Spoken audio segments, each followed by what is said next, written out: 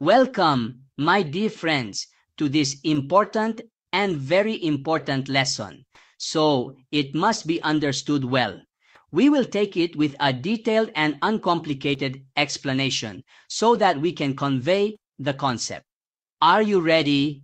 Then let's begin. Imagine you're tasked with designing a new green zone in Los Angeles.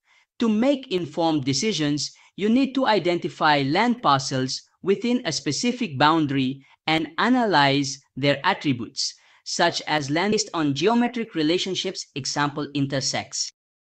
Sketch component enables users to draw and modify geometries interactively. Graphics layer used to display results on the map. Setting up the environment.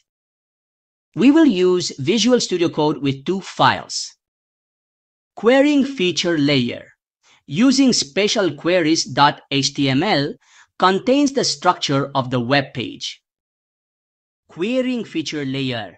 Using spatial queries.js contains the JavaScript logic for map interactions. Step-by-step implementation.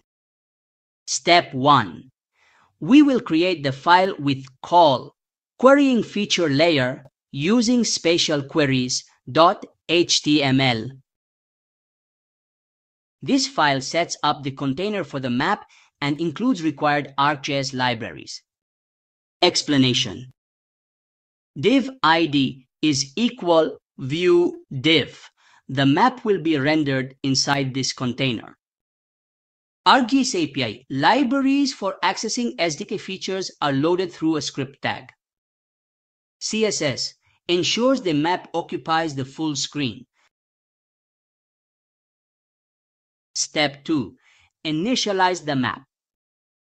Also, we will create the file called querying feature layer using spatial queries.js to initialize the map and configure its basic properties. Explanation API key secures access to the ArcGIS platform. Map object configures the base map for visualization. Map view links the map to the container and specifies its initial center and zoom level. Step 3. Adding layers. Add a feature layer and a graphics layer to the map for data representation and results visualization.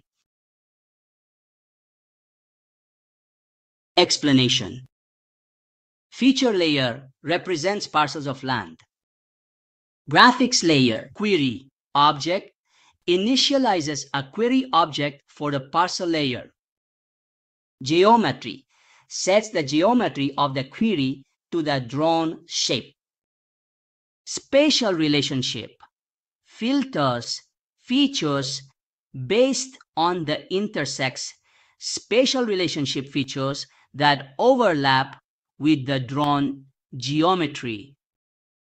Outfields specifies which attributes APN, use type, role, land value to retrieve. Written geometry ensures the resulting geometries are included in the query results. Execute query runs the query using query features and processes the results. 3. Results processing. On success, passes the results to the display results function for visualization. On error, logs any errors that occur during the query. Summary. This code uses the sketch widget to let users draw geometries on the map.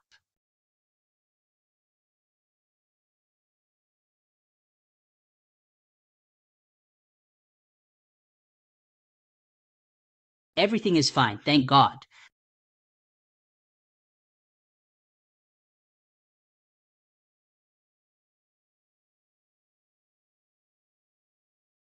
We have completed the work successfully. Congratulations.